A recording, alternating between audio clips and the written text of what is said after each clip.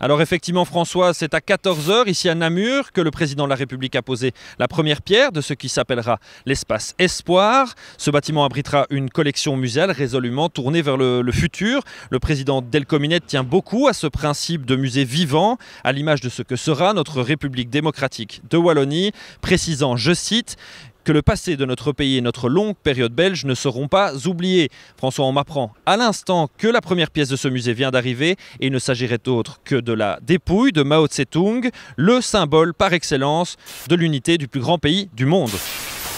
Si vous n'avez rien compris à ce qui vient de se passer, ne vous inquiétez pas, ce n'est pour le moment que de la politique fiction. Et c'est dans Le sourire de Mao, le nouveau roman graphique de Cornette et Constant. Et c'est tout de suite dans le deuxième numéro de Kaboom.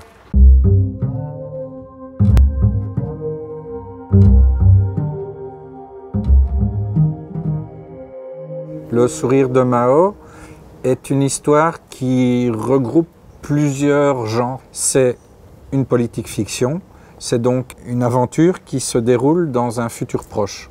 Là-dedans, il y a une petite histoire d'amour entre, entre un jeune homme et une jeune fille, et tout ça euh, est mélangé, et ça nous donne en même temps une sorte d'histoire d'espionnage.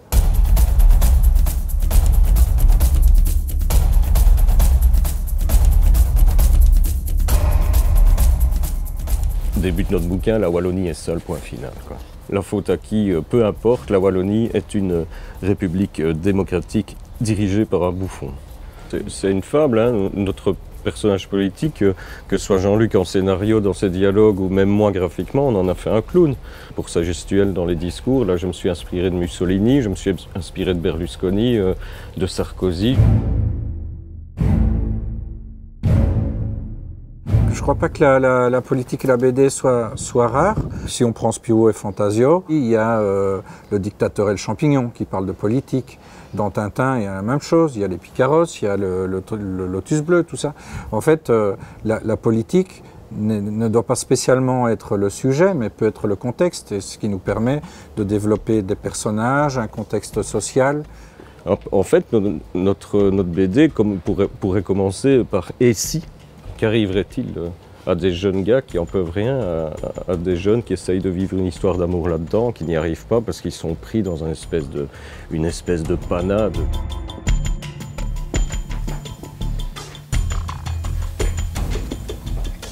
J'aime bien travailler sur les, sur, les adolescents presque adultes et tout, parce qu'on n'a pas encore fait son choix. Puis il, suffit d'un grain de poussière pour que, pour, pour que des, des, situations se déclenchent. Je trouve beaucoup plus rapidement qu'un adulte qui est, qui est, plus réfléchi ou qui, qui, aura des scrupules, qui va se dire euh, ah, j'arrête là. Quoi. Tandis qu'un ado, il va y aller à fond. Moi j'aime bien. Je trouve que c'est très euh, romanesque dans un scénario de prendre des adolescents. Ce qui était important pour moi, c'est que, ça, sente la Belgique. Quoi. Il faut que ça sente la bière et la frite. Il faut que... Pour ça que j'ai dessiné Namur, j'ai dessiné beaucoup de, rues et de bâtiments qui existent, mais toutefois pas d'une manière euh, hyper précise, pas d'une manière hyper réaliste, parce que c'est pas mon truc au départ. Au niveau graphique, rien n'a changé, donc on sait que c'est un futur très très très proche. Ça peut être 5 ou 10 ans, mais ça peut être dans 6 mois. Les rues n'ont pas changé, les voitures n'ont pas changé, les gens n'ont pas changé, sauf qu'il y a des scouts et les chefs euh, qui ont 18 ans ont euh, des flingues euh, à la ceinture.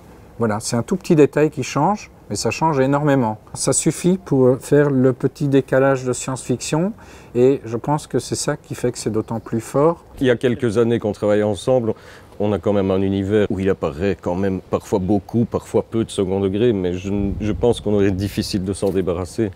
Même si on écrit un drame, bon, la fin de cette histoire-ci est super triste, mais on n'a pas pu s'empêcher de mettre du, second degré dans l'histoire, du recul, quoi. Et, moi, je trouve que ça, c'est super important. La situation n'est pas drôle, mais les personnages le sont. Parce qu'ils sont, ils sont leur propre caricature d'hommes politiques, euh, enfin surtout les hommes politiques dans, cette BD. Les autres, personnages sont plus touchants, euh, sont plus humains.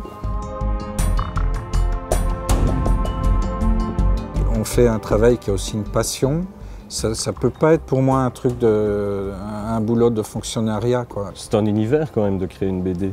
On passe un an dessus à faire, donc c'est super important de se connaître, je trouve Quand je dessine, je sais, que je, sais où il va tiquer, où il va dire euh, bien vu. Je me considère toujours comme dessinateur, mais comme un dessinateur qui dessine plus. Donc euh, j'ai dessiné des albums, j'ai fait des études de dessin, tout ça.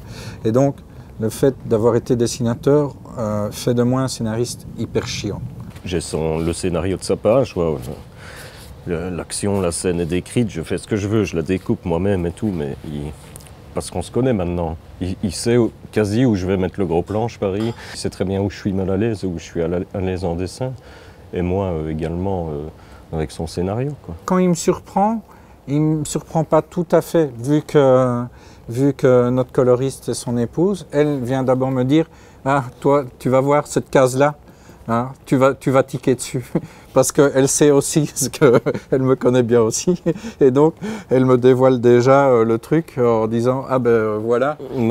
oui, je, je, sais où il va tiquer, je le laisse quand même, et j'ai un petit sourire. Alors, tu verras, euh, dans deux jours, je lui envoie les pages pour, pour qu'il voit où on en est. Là, tu vas voir, il va dire un truc. Puis j'envoie la page, et puis pim, vous avez un mail. Michel, alors il met deux points, sourire, et puis alors il dit Ne pourrais-tu pas changer? Je dis à ma femme, tu vois, voilà. Quand j'étais gamin, c'était Maurice, moi c'était Lucky Luke. Je, je voyais que Lucky Luke. Puis il y a eu Franquin, puis alors après, bon, il y a Will Eisner, euh, des, Américains. En fait, on fait des histoires. Il se trouve que je, le fais par, euh, avec un crayon, des cases. Et le dessin, pour moi, c'est un moyen un moyen pour arriver à raconter quelque chose. Pour ça que je considère le dessin comme une écriture presque. Moi j'aimais bien un dessinateur comme réserve parce que de loin on dirait euh, une page écrite. Tu te rapproches, tu vois que c'est une tête. En fait, on dirait une signature presque. Moi, le, moi c'est. Au départ, c'est les Schtroumpfs. Et toujours, Peyo, pour moi, c'est le plus grand auteur belge. Je le mets euh, au-dessus quasi de, Franquin et d'Hergé. Je trouve que c'est les Schtroumpfs et Jean et Pierre Louis, il y a tout. Euh, après, euh, évidemment, euh, je suis passé à Pratt, à Munoz et Sampaio, à Will Esner, à Jean-Claude Denis en France. maintenant, il y a Christophe Blin qui est épatant. Dans le bouquin, on a parlé d'un dérapage possible, un petit fond politique ironique qui peut peut-être mettre en garde certaines personnes. Voilà, ça va pas plus loin. Ce que moi j'aimerais bien, ce serait que les politiques belges le lisent et d'avoir leur avis en retour. Parce que ça, ça serait vraiment, euh, très, très chouette de voir euh, euh, quelle est leur réaction sur notre vision des conséquences possibles de leur politique.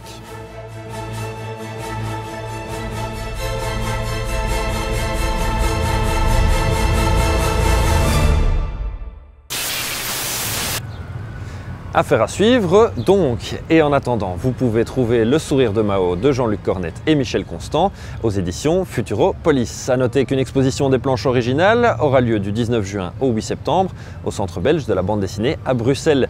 Dans l'actualité de nos deux auteurs, on notera également la réédition des albums de Mauro Caldi chez Paquet. Michel Constant va reprendre plus de 20 ans après les aventures de ce jeune mécanicien rêvant de devenir pilote de course dans l'Italie des années 50. Jean-Luc Cornette, de son côté, vient de sortir aux éditions Lombard, le deuxième tome d'Alexandre Pompidou, dessiné par Nicolas Witko. Pour plus d'infos sur l'actu BD, les expositions, les événements et les sorties, c'est sur la page Facebook Kaboom BD. Il me reste juste le temps de vous dire au revoir et vous donner rendez-vous le mois prochain pour une nouvelle émission.